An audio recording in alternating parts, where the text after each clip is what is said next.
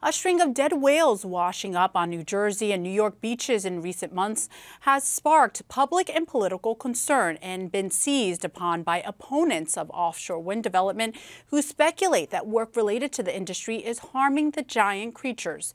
But scientists have loudly rejected that assertion and point to evidence indicating that ships remain the largest threat to whales. Just yesterday, state environmental authorities reiterated that stance. Still, Republican lawmakers and anti-wind groups groups have persisted in calling for wind work to stop until more research on the whale deaths is done. Today in Wildwood, GOP Congressman Jeff Van Drew and Chris Smith hosted a field hearing on the topic that drew hundreds to listen. Ted Goldberg is at the hearing today. Ted? Raven, more than 400 people came to Wildwood today to be a part of this hearing that brought a team of witnesses and two of New Jersey's Republican congressmen, Chris Smith and Jeff Van Drew. They outlined their issues with New Jersey's ongoing development of offshore wind and any link with dead whales washing up on New Jersey shores.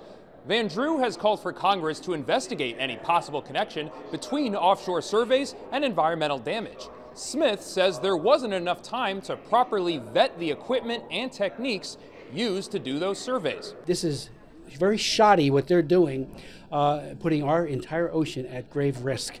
And I love the ocean. I know you love the ocean. People in New Jersey love it. There has to be a serious and very comprehensive look at all of these issues that we're bringing out and will bring out in this hearing. Marine life is being placed at grave risk without scientific due diligence, monitoring, and protection to ensure the ocean survives this massive industrialization. Indeed, the ocean and the coast will be vastly transformed and industrialized, and the public would still likely be in the dark if it weren't for the outrageously grim and tragic number of whale and dolphin deaths. If the noise is loud enough, it can directly damage their hearing organs. A mother and calf could be uh, swimming along. They communicate by sound, not by sight.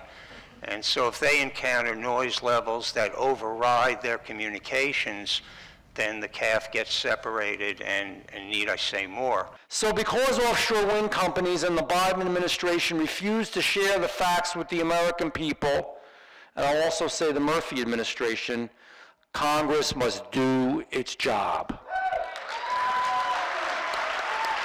People at the hearing expressed other concerns about offshore wind and argued that there hasn't been enough transparency. Developers want to build thousands of Eiffel Tower sized turbines that will line our horizons for decades.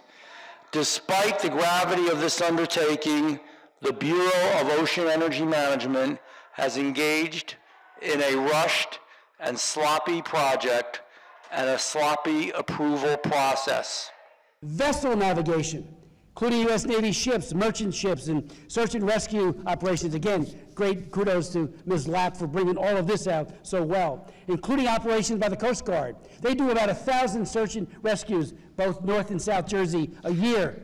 Their radars will be compromised. There were also complaints about the company Orsted not joining this meeting.